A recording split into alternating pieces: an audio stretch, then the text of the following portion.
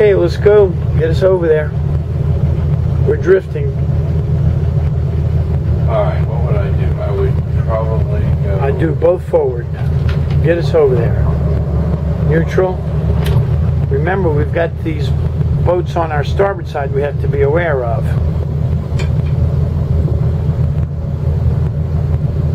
Just drift a little bit more.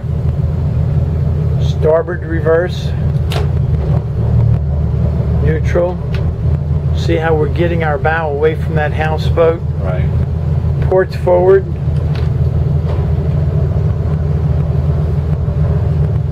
Keep on going, keep on going. Neutral. Starboard reverse. Goose it with the throttle a little bit. Okay, easy, easy, easy. We're doing good. Neutral.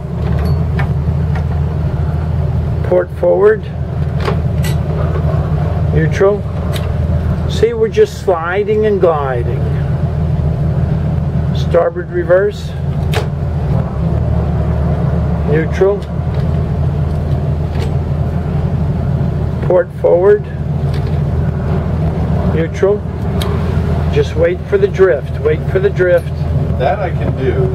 I'm just Okay. not sure which control to use. Port forward again. Port forward. Neutral. See how that big space on the port side of the boat? Yeah. Starboard reverse. Neutral. Both reverse. Neutral. Port forward. Neutral. Now in this marina, we're rubbing on these big long piles, these square pipes. Starboard reverse. Neutral. And just inch it back and make sure that our fenders don't get hung up on anything.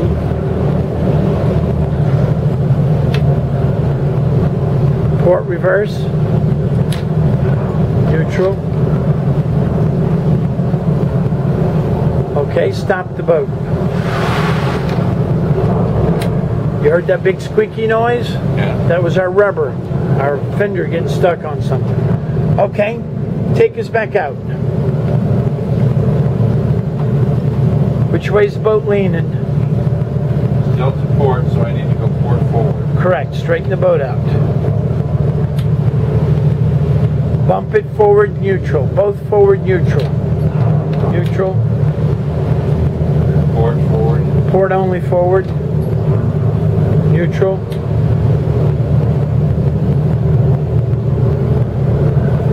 So we want to come out straight. Both forward. Neutral. Watch your stern. Are you clear? Yes. Okay, starboard reverse. Neutral. Port forward. Both forward. There we go. We got out.